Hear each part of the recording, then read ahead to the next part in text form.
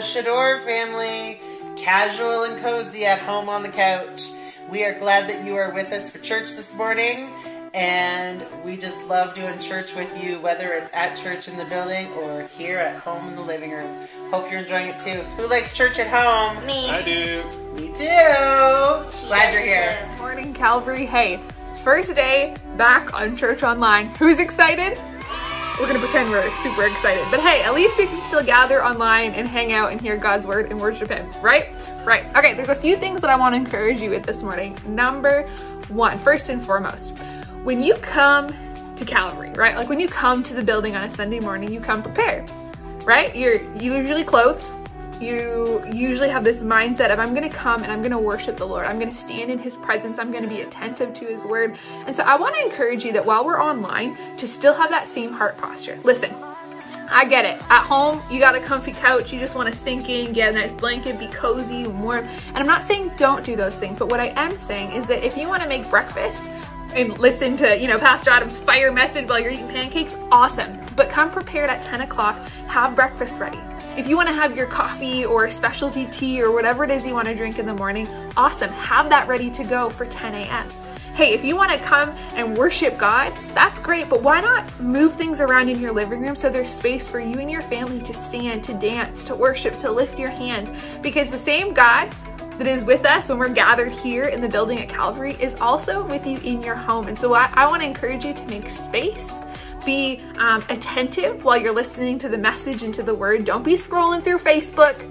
I'm talking to you, my teenagers. Don't be doing that. Be attentive and come prepared for God to move even in the midst of your home. So that's number one. Number two, you may have seen our post on Facebook, but we are looking for testimonies. Yes, that's right. We want you to send in your testimonies to Pastor Adam at P. No, that's a lie. A Powell at CalvaryBarrie.com. Um, and so we want to hear from you. What is God doing in your life? Because we know that He's moving. And so what that looks like is send in a, you know, one two, maybe five, one to five minute video, just sharing what God's put on your heart. What is He encouraging you with? How is He moving? Is there a miracle? And I just want to pause, and we've talked about this as a staff, that it doesn't necessarily need to be some big dramatic moment like limbs growing out or money shows up on your doorstep in a bag, although who would be complaining about that, right? Um, you know, if it's as simple as a text, I'll go first. So today I woke up and I, you know, just feel a little bit overwhelmed in the state of the world and just not knowing what the future holds and all these different changes coming in my personal life. And I woke up to a really long text from somebody just saying, I had a dream about you. I'm not really sure if the dream meant anything, but it just had me praying for you. And I want to encourage you in this that God has you. And just started writing out all these things of encouragement. And for me, that's a testimony that God hears my cries and He hears um, my heart and He hears my prayers. And so by somebody just sending a simple text, that's my testimony this week that God is listening to my heart and He knows what I need when I need it. So that's number two. Number three, I also want to remind you to stay connected. I know that's why we're making sure that you're attentive, participate on the chat, share, um, you know, this sermon, share, past, he, he drops fire, okay? We've got a pretty awesome pastor, so we need to be sending out, um, sharing. It's that easy. You want to invite someone to church? Click share. Boom done um, but also stay connected you know if you just you need help please reach out to one of us as staff at the church we would love to help you whether it's financially you just need prayer or maybe you just need someone to say hey how's it going we would love to be that for you and you know text somebody else if you're doing great if you're like man i'm actually doing really good this lockdown praise god then why don't you as the church be his hands and feet and reach out to somebody in the church to encourage them Cool? Cool. So those are my three things this morning. Be encouraged, stay connected, and share what God is doing in your life. Hope you enjoy the service today. See you later, Calvary.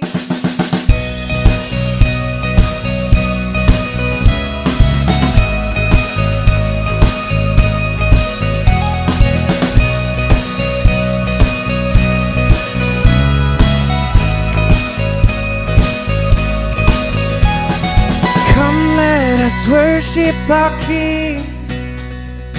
Come, let us bow at his feet. He has done great things.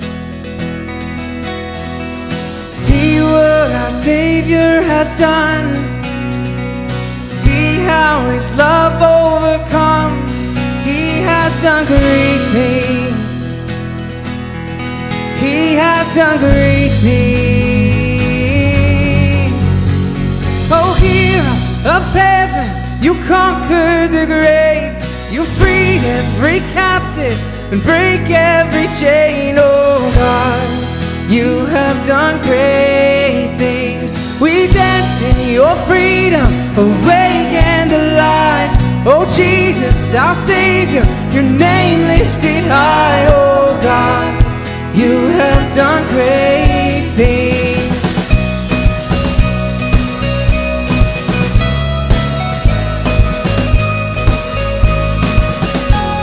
been faithful through every storm, and you'll be faithful forevermore.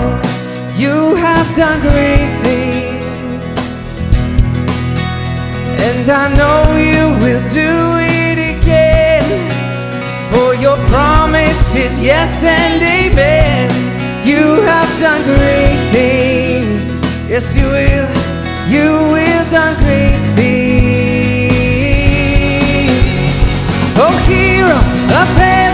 You conquered the grave.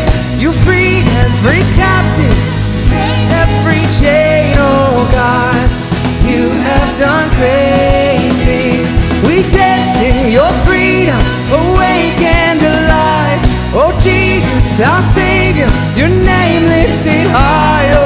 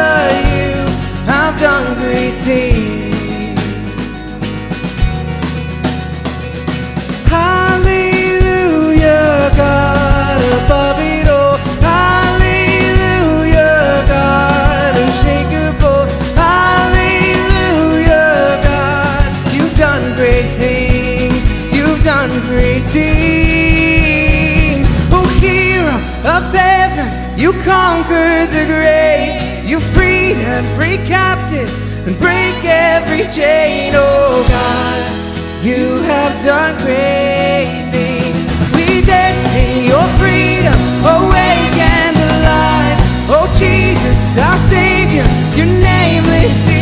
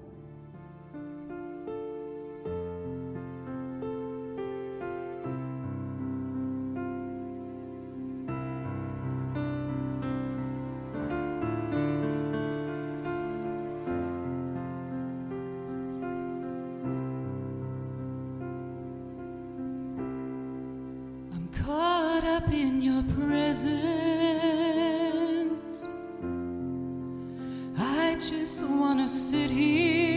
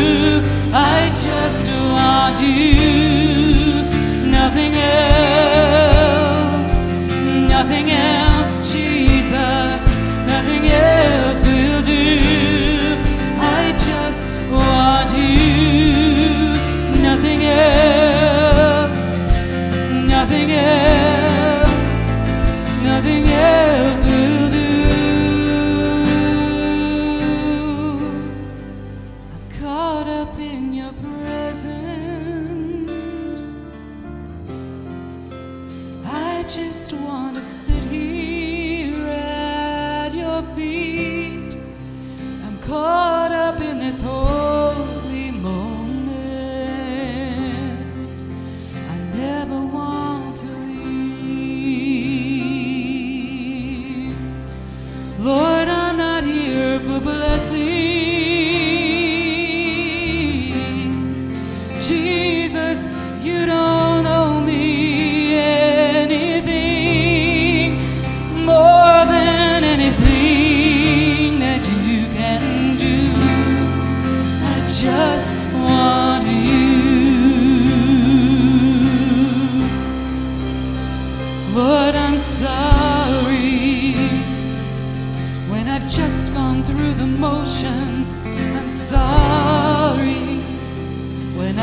sang another song. Take me back to where we started. I open up my heart to you. And I'm sorry when I've come with my agenda. I'm sorry when I forgot that you're enough. Take me back to where.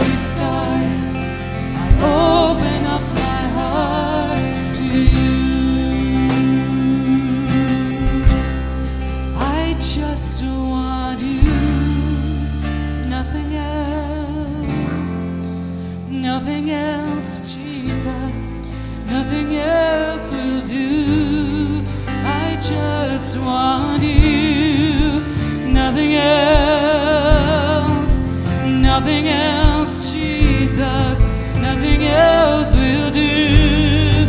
I just want you, nothing else,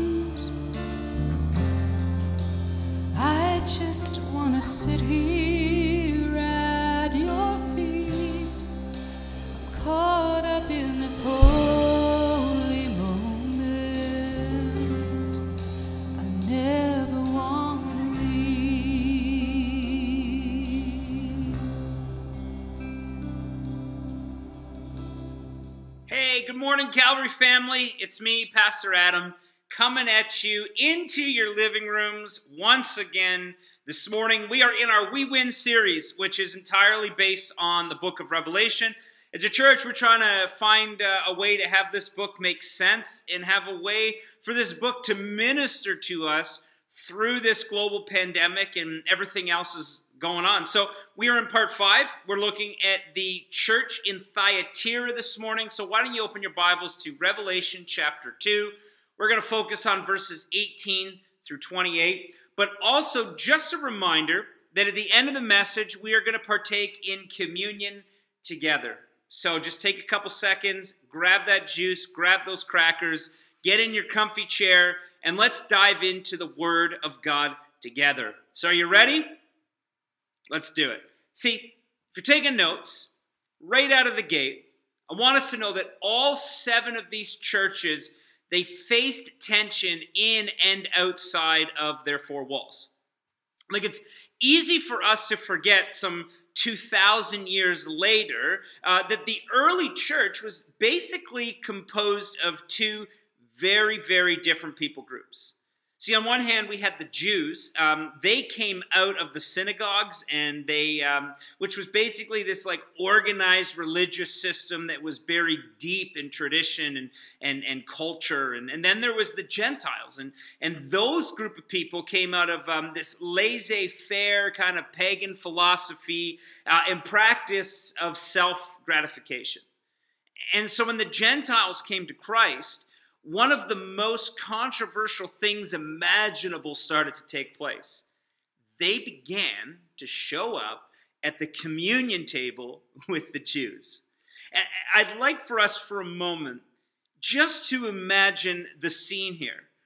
On one side of the table, we have a Jewish zealot, and on the other side of the table, maybe even sitting right beside him, we have a Roman centurion, and together they are sharing in communion at the Lord's table. What a weird picture that is. Because zealots made their living by plotting to overthrow the Roman Empire, and then the Roman centurions made their living by thwarting the zealots' plans by using any means and any force necessary. So, so this morning, I want to blow your mind, so to speak, with some incredible revelation that the Lord has revealed to me. And that's this the table is always about reconciliation. I'm going to say that again because I'm not in the house with you live. I don't know if you're amening that. Now is an awesome opportunity to sit up straight and jump in and give the TV a good amen. The table is always about reconciliation.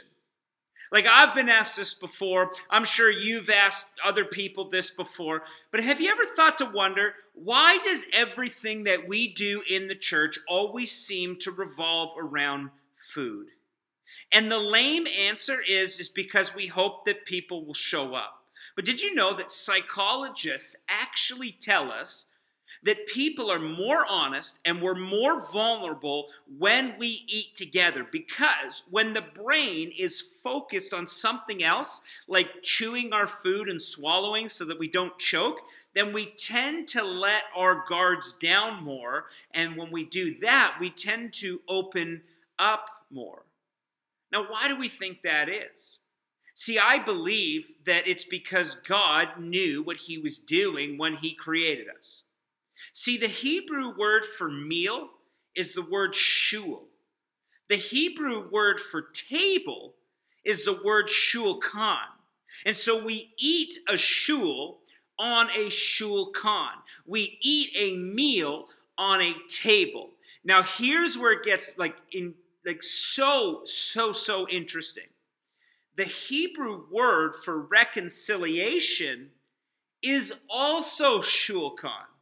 See, table and reconciliation are the exact same word, spelt the exact same way. And also, the Hebrew word for lambskin is also shulchan.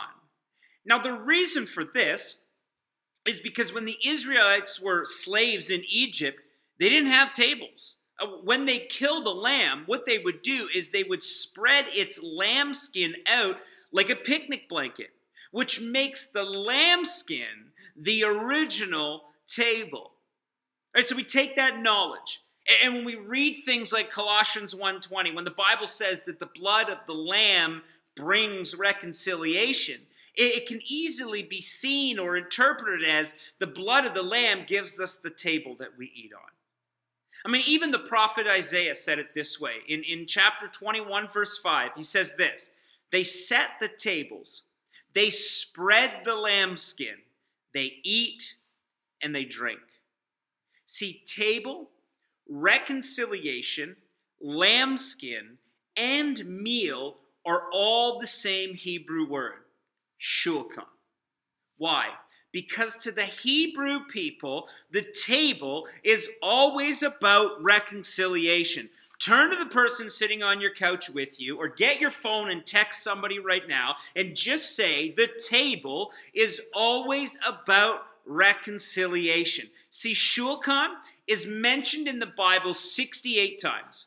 And every single time that it gets mentioned, it's in the context of God inviting us, inviting people to reconcile. Let's just walk through the Old Testament a little bit. After Joseph's brothers sold him into slavery, remember Joseph's dad gave him this beautiful coat. His 11 other brothers didn't like that too much, and so they beat him up. They threw him in a pit and went to have lunch until the caravan came by to pick him up so they could sell him into human trafficking. We're talking about that Joseph. After his brothers did that to him, eventually over time, Joseph found favor in the Lord. He found favor in Potiphar's house, and he grew to a point where he had power and authority in Egypt. And over time, his brother's fate eventually fell into Joseph's hands. And the Bible says in Genesis chapter 45 that Joseph, when, when, when, it, when, he, when him and his brothers eventually reunited, the Bible says that Joseph wept and he wailed. But after that was all said and done, Joseph turned to his servants and said this Now it's time to serve them food. In other words, my brothers will live today because I've decided to reconcile with them. So let's eat a meal together. In Exodus chapter 4, when Moses came off of the mountain, and remember, he, he's seen Israel worshiping that golden calf, and he said this immediately, I want the 70 elders of Israel to come right up here right now. And those guys thought they were in big trouble. But when they got to the top of the mountain, the Word of God says in, in Exodus 24, verse 11, but God did not raise his hands against these leaders of the Israelites. They saw God and they ate and drank. In other words, God's response to the first act of idolatry was let's eat together and, and let's make this right. Let's get all of this out onto the table so that in the future we can do this better. In, in 2 Samuel chapter 2, verse 9, it says, So Mephibosheth ate at David's table as one of the king's son. Well, Mephibosheth should have been killed because this happened right after Saul died. And Mephibosheth was Saul's son. You can't have the offspring of the old king hanging around when the new king is about to take the throne. See, in the New Testament, any time that we see Jesus reclining at a table, what is he doing? Every single time Jesus is read or found at a table, he is blessing, he's healing, and he's forgiving people. I mean, we even see Shulchan in the calling of his first five disciples. In Matthew chapter 4, 18 to 22, as Jesus was walking beside the Sea of Galilee, he saw two brothers, Simon called Peter and his brother Andrew. And they were casting a net into the lake, for they were fishermen. Come, follow me, Jesus said, and I will send you out to fish for people. And at once they left their nets and they followed him. And going on from there, he saw two other brothers, James, the son of Zebedee, and his brother John. And they were in a boat with their father Zebedee, preparing their nets. And Jesus called them, and immediately they left the boat and their father, and they followed him. So we have Peter, Andrew, James, and John. The Bible says they were all fishermen. But the calling of the fifth disciple was a tax collector. In Matthew 9 9, as Jesus went on from there, he saw a man named Matthew sitting at the tax collector's table. Follow me, he told him. And Matthew got up and he followed him. Like, do we know what it was like to be a fisherman in Jesus' day? Like, as soon as the fishermen came in from fishing all night long, and as soon as they docked their boats at the harbor or the marina or wherever these tax collector tables were, King Herod actually had tax collectors sitting there waiting to greet them as they got off their boat from tables. And right away, 50% of their evening's catch went to King Herod's political elites. And then King Herod would take 50% of what was left over, which means if you fished all night, the only thing that you get to take home is 25%. But it didn't even stop there. So after the political elites got their fair share of your fish, after King Herod took 50% of what was left for himself, then the tax collectors ended up taking a portion for themselves. See, today, the average Canadian, I think, pays around 43% of their income in taxes. But in Jesus' day, uh, Judeans, a, a lot of theologians estimate that they paid between 80 to 90% tax on everything that they made. And here Matthew was, waiting at the tax collector table to tax the snot out of Peter, Andrew, James, and John. See, the first lesson that these disciples had to learn was a lesson around reconciliation. It, it was a lesson around shulchan. Jesus was essentially saying, hey, can the four of you guys forgive the guy who's taxed you into poverty? Like, I hope in understanding a bit about shulchan, I hope that Psalms 23, verse 5, is, is making a little bit more sense to us. It says, You prepare a table, a shulchan, before me in the presence of my enemies. Now, does that mean that, that God is going to cook us dinner while he kicks our enemies in the teeth? No, not at all. It means that God always will make a way for us to reconcile with each other. Psalms 34, verse 8, makes sense when we understand this. It says, Taste and see that the Lord is good. Blessed is the one who takes refuge in him. Well, we get a good taste for the Lord when we understand that Jesus is all about reconciliation. Like, this is a series on trying to make sense of the book of Revelation and to see what it is telling us through this pandemic. And the whole entire thing ends at what we call the marriage supper of the Lamb. And guess what? It ends around food and tables. So, to answer the question, why does everything we do in church seem to always revolve around food? Well, the real answer is because it's biblical. I mean, we could say this in multiple ways. We could say that God just loves to party, that, that He loves to eat, that God is the ultimate foodie. Because gathering around the table is a critical and crucial part of not just um, Jewish uh, culture, but it's a critical part of the church. It's a critical part of the body of Christ being the body of Christ together. Why?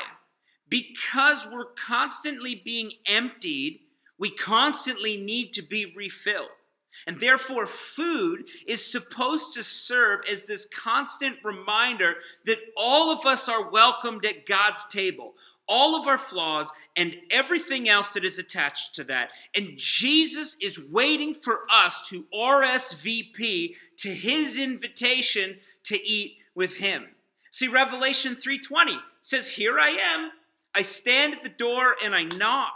And if anyone hears my voice and opens the door, I will come in and I will eat with that person and they with me. In other words, I offer reconciliation to the entire world. And if you want to eat, I think Texans would say, I'm game because I love me some good cooking. See, when Jesus invites us to the table, he invites us to reconcile. And how can we know if reconciliation has taken place? We can know that this has taken place if we can get through the meal together in peace. See, if kingdom spirited people are going to minister together, then we need to be reconciled together so that what we do can be done with unity and peace. And a major question the early church, um, sorry, a major question that, that the early church had and to be honest, it's a major question that the church has today, and, and we struggle to answer it. It's this it's that are the ways of Jesus compelling enough for us to love our enemies? And so, inside this church in Thyatira, the tension was uh, how to love each other. Right? And outside the church of Thyatira, the tension was to hold on to the uh, paganism that they were accustomed to. But remember from last week, there was four simple rules that Acts 15, 29 laid out for us. Uh, just quick refresher. Stay away from idolatry, stay away from blood, don't eat meat from strangled animals, and stay away from sexual immorality. Which to us it seems easy enough, but again, in the Roman Empire, these kinds of things that took place in the church were about as common as finding a Tim Hortons on every street corner which now we finally get to Revelations 2, verse 18, which says this To the angel of the church in Thyatira, write, These are the words of the Son of God, whose eyes are like blazing fire, and whose feet are like burnished bronze. Now, just some interesting facts about Thyatira. Thyatira actually means hill graveyard. And, and, it was the smallest of the seven cities um, that had the churches that received the seven letters from John through Jesus. And Thyatira, important because we're going to come back to this.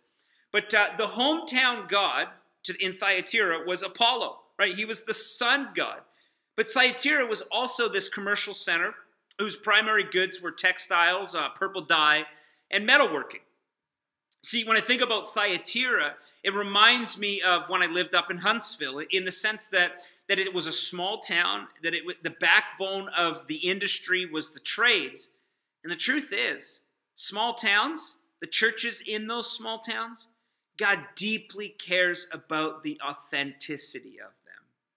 And so then Jesus went on to say, I know your deeds, your love and faith, your service and perseverance, and that you are now doing more than you did at first. Now, also remember just from last week that the pattern of these letters is affirmation, accountability, and then action, right? Thyatira's affirmation was this You're doing great on the mission. You're a loving church. You're compassionate. you're engaged in social justice. You're being a light in your community by assisting the poor and defending the oppressed. You're, you're caring for the sick. In other words, Thyatira, you're bringing reconciliation to the table. And every day this is getting bigger and better, and you're getting more and more and more momentum. And that all sounds really, really good. Like, let's be honest, of all the affirmation that Jesus gave to these seven churches, this one takes the cake. This is the one that I want Jesus, my Savior, to say about me, that I want Jesus to be able to say about Calvary Community Church. But but Thyatira also had an ugly side that Jesus had to hold them accountable in. Nevertheless, I have this against you, he says. You tolerate that woman Jezebel, who calls herself a prophet. Oh boy.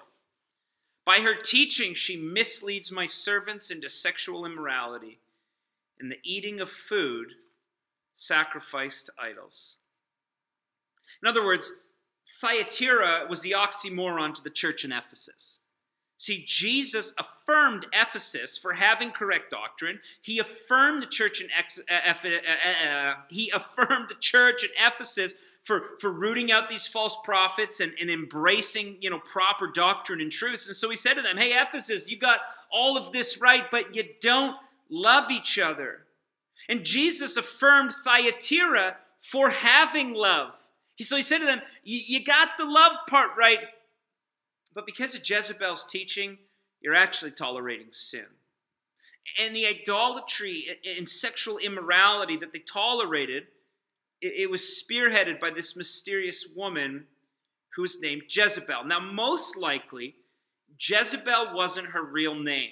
She was a real teacher in the church, but most likely, Jezebel was a code name. Again, this is a remez. Do we remember what a remez is? A remez is alluding to something that everybody already knew about. It's where you can start the sentence and you don't need to finish it because you know that your listeners already know where you're coming from. Like let, let's see if if if we've started our own remez here at Calvary. I'm going to say it like this if we're not 15 minutes early, we're. I hope you yelled late at your TV. That's a remez. If we're not 15 minutes early, you can finish that line. We're late. Jezebel is a reference to King Ahab's wife. It's a remez to King Ahab's wife, and her story is found in 1st and 2nd Kings. And she's considered bad news because Jezebel was the one who introduced Israel to Baal worship. And when they were introduced to Baal worship, that was the beginning of the end for all of the northern tribes. And so this code name was attributed to the person teaching the church in Thyatira that Jesus, idol worship, and sexual immorality are okay. Basically, Thyatira lacked this spiritual gift that we call discernment. Uh, like, here is the best definition of discernment that I has, have ever heard. Discernment isn't knowing the difference between right and wrong. Discernment is knowing the difference between right and almost right. And part of the church in Thyatira was on point with the mission. But the other part of them was running to the altar every single time Jezebel preached about food and sex. And Jesus is saying that, that this isn't something to practice in the church, this is something to eradicate from the church. And our culture today is at a similar crossroads. What do we tolerate? Where is our discernment meter off? Maybe we could ask the question this way Where are we almost right when we need to be right? See, Romans 8 1 says, Therefore, there is now no condemnation for those who are in Christ Jesus. 2 Corinthians 5:17 says, "Therefore if anyone is in Christ, then the new creation has come, the old is gone, the new is here." In one of my life verses, Romans 2 4 says, Or do you show contempt for the riches of his kindness, forbearance, and patience, not realizing that God's kindness is intended to lead you to repentance? So, in light of our identity in Christ, in light of our freedoms in Christ, in light of God's kindness, what do we tolerate? See, the message to Thyatira asks some tough questions. Questions like Will we be faithful when our lives are at a crossroads? Will we make the right decision when it gets difficult? It asks us tough uh, questions like Will we discern a Jezebel spirit or are we going to ignore it? And to the one who is victorious and does my will to the end, here's the award. I will give authority over the nations. That one will rule them with an iron scepter and will dash them to pieces like pottery. Just as I have received authority from my Father, I will also give that one the morning star. Whoever has ears, let them hear what the Spirit says to the churches. So, that word there, those two words, morning star, they're very intentional. Again, who is the hometown god of Thyatira? It was Apollo, right? What was Apollo? He was their sun god. And so John here is contrasting what their culture taught about light against Jesus, who is the light. But Jesus is our guiding light. He's the light that brings clarity. He's our light that heals. He is our light that, that changes our circumstances. He's our light when we find ourselves in dark, mysterious places. In John 8 12, Jesus says, I am the light of the world. But then he turned around and said that whoever follows me will never walk in darkness, but will have the light of life. So, what do we hold on to that stops our light from shining? Maybe we could ask the question this way What's our idol? Some of our idols are grudges. Some of our idols may be sexual immorality. Maybe our idol is money this morning or the food that we eat. Maybe our idol is an inward focused mentality. But the truth is is that when we come to Christ, he ends up taking up residence in our lives and then we become this beautiful reflection of Jesus' light. I'm going to ask the question this way. How long do people have to spend with us before they recognize that Jesus is living in us. See, Mel and I put this to the test every single time we've moved churches and or where Mel's got to get a new job and, and we get new neighbors. See, as you guys know, I just moved here about nine months ago. And uh, before moving here, I lived basically in the middle of the woods. I couldn't see neighbors on each side of uh, my driveway. The only time I seen my neighbors is if by chance we were snow blowing in the wintertime and we happened to reach the, the, the front of our driveways at the same time and we do this like kind of greet, or if we were getting the mail at the same time, we would, you know, hi, bye, hope you're doing well. Like, because we were so far out, we, we, just never had a chance to communicate together.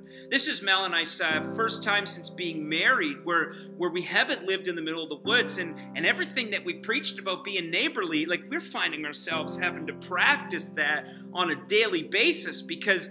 Well, my front door is only about 12 feet from my neighbor's front door, and we're seeing each other all of the time. And so Mel and I, we always want to put this to the test. See, you might think this is weird, but I never introduce myself as Reverend Adam Powell, especially when I'm meeting new people. I just like to be known as, as Adam. Why? Because it's normal. And so my one neighbor, this happened to me about uh, three or four weeks ago now. Uh, I, I, was backing my truck into my driveway, and he comes walking across the street. And he's like, Adam, I've been meaning to ask you for weeks now. You know, we always see you coming and going, coming and going, coming and going, coming and going. What do you do for a living? And I just kind of laughed to myself and I said, Well, actually, I'm a pastor, and so that's what takes my time. I'm running to meetings, I'm, I'm, I'm, going to do events, I'm back and forth at the church all the time. And, and as soon as I said to him, I'm a pastor, immediately he goes, Ah, that makes sense.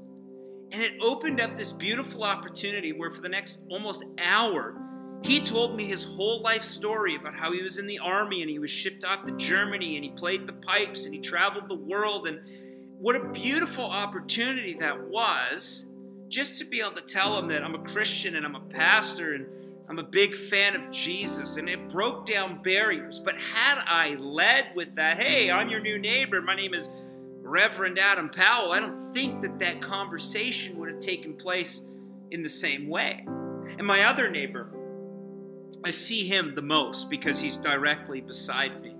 And um, a few weeks ago, uh, someone in their house, um, and it was like 11 o'clock at night, and uh, Meatball just starts barking ferociously. And we look out the window and there's blinking lights, and there's an ambulance in front of my neighbor's driveway, and, and we're being creepers looking through the blinds, and, and we see, you know, my neighbor get taken out in a stretcher, put in the ambulance, and uh, moved away. And in that moment, Mel and I didn't know what to do.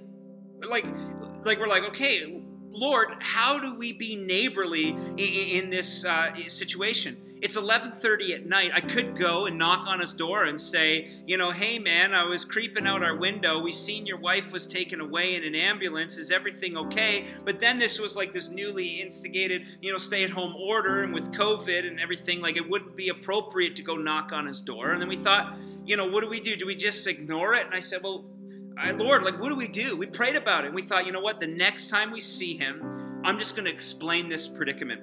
And you know what? In the meantime, Mel, we're going to pray for his wife. And so we prayed for his wife and, and we went to bed. The next morning, I see my neighbor and, and I'm like, hey, I just want to explain something to you. And I just like gave him this regurgitation. Like, we, we seen your wife rolled out on a stretcher and, and, and, and, and we didn't know what to do. We've lived in the woods. We thought about coming and knocking on your door, but then we didn't feel like that was appropriate. And, and then, like, all of this stuff. And we just said, hey, man, like, what happened?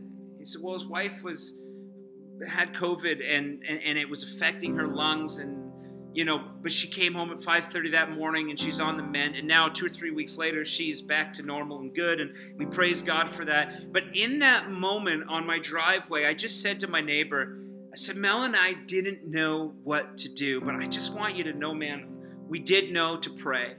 And that's what we did. He's like pray? What do you do? What do you do for a living?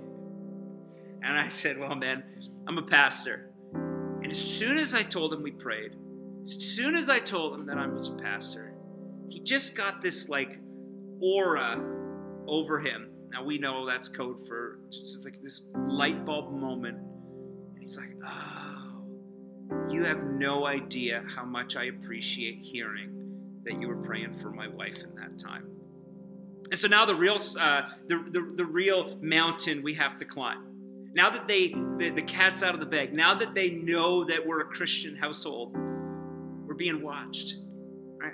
And we have to live this out. And I'm so excited to see what, what God is going to do uh, through this kind of relationship. And, it stems back to John 8, verse 12. I am the light of the world. Whoever follows me will never walk in darkness, but will have the light of life.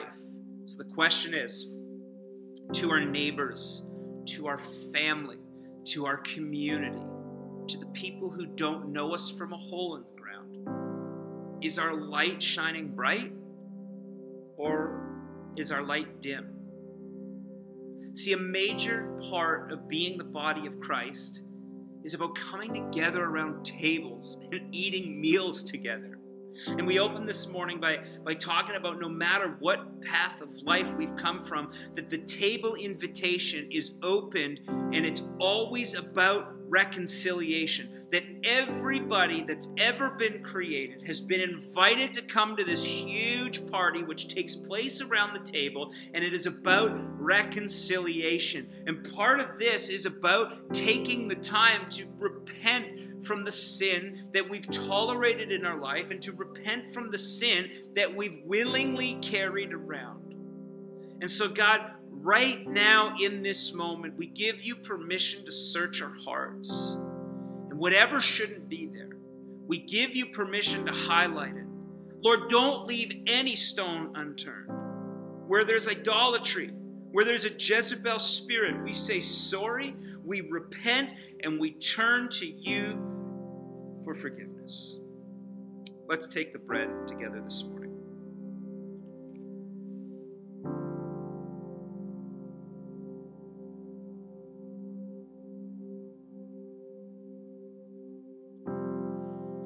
The other part of communion is about recognizing that we are only forgiven because of what Jesus did for us on the cross. And so, Jesus, this morning we just want to say thank you for your forgiveness. Thank you for your salvation. Thank you for your perfect atonement. God, thank you for your mercy. Thank you for your grace. And Lord, we thank you that you are continuously working in our hearts and in our lives. So let's partake in the juice together.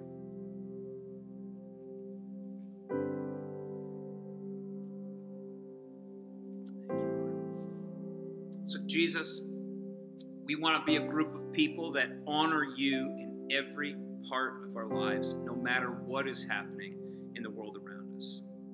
Help us to not stumble over what these seven churches stumbled over, and help us to embrace what you've affirmed in them. And as we prepare for another week of physical distancing and self isolation and staying at home, God, help us to shine our light around our neighbors and in safe and creative ways. And help us to encourage each other in unique and special ways. And we pray this in Jesus' name.